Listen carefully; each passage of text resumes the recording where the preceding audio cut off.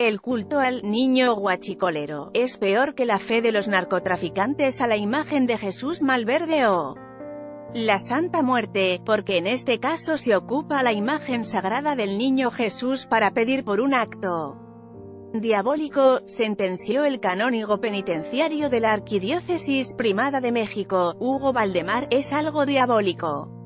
Podríamos situarlo como un pecado contra el Espíritu Santo, que consiste en atribuirle las obras de Dios al demonio, y Dios no bendice ni protege.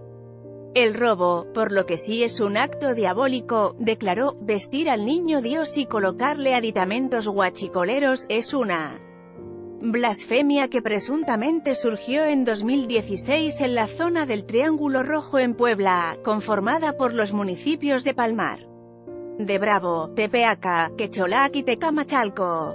A unos días de celebrarse el Día de la Candelaria, o Levantada del Niño. Dios, esta imagen del niño fue retomada en redes sociales luego de que el presidente de México, Andrés Manuel López Obrador pusiera en marcha su plan antiguachicol para evitar el robo de hidrocarburo.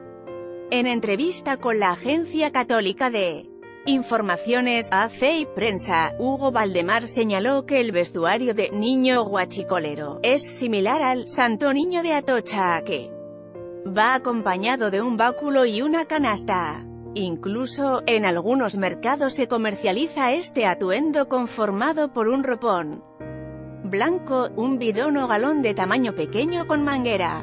La práctica de la adoración al niño guachicolero también ha llegado a otros estados donde el robo de combustible de ductos de Pemex es común.